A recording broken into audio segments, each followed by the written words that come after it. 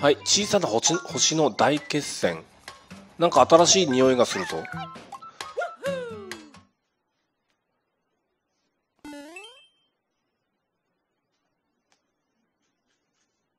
みんなマリオメーカーやってんな。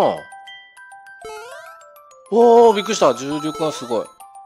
そっか夜にすると重力がなくなるんだっけ？月を消した状態の夜やったっけ？これよく忘れちゃった。おー楽しい。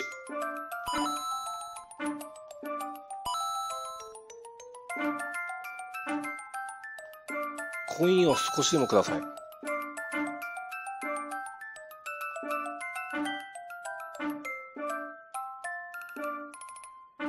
あれ こんな下手なことある？下手やわ。小さな星の大決戦そんだけか。だから重力がないよっていうだけやね。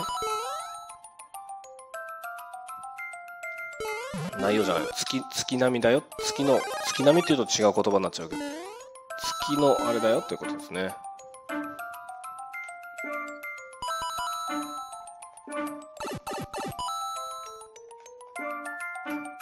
危な？別に取らんでいいんかな？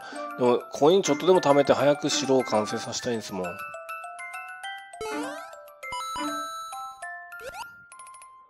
めっちゃむずい。あかんめっちゃむずい。これ途中であ途中あるやん。ゼルダのブレスオブワールドやって。なんでやろう。お月出てきた。あれ月取るとどうなるやろ。さっき前取ったことあるんやけど何にもならなかったんやったな。あ全部倒すんか敵。あそうやそうやそうやったそうやった。そうやったな。今思い出したわ直前に。前何にもならなかったわ。敵がいんかっただけや。あ怖い怖い怖い。遅かったら怖くないもんなんやな。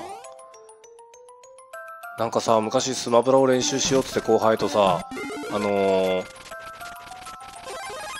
これ倒さなあかんのかやべ。あの Wii のやつって早送りできるんですよね。その早送りモードでさ練習超してたらさその後のスマブラ錯覚がむっちゃくちゃスローで通常でも。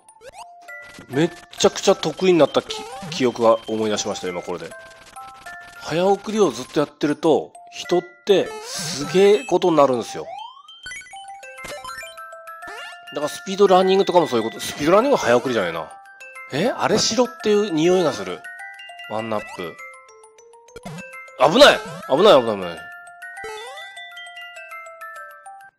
今のはめっちゃ危なかったよかった。かもうあれしろあのワンナップをゆっくりやったらできるやろ？っていう匂いがしたでさ今。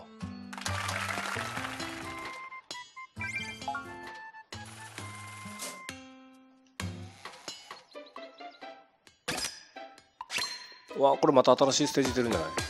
ゼルダのさっきと一緒な人？大使。ゼルダが2人もやってるわけないか。完成しました。完成しました。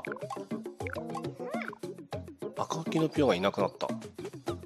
でここはなんであれびっくりしビクビクしてるやろ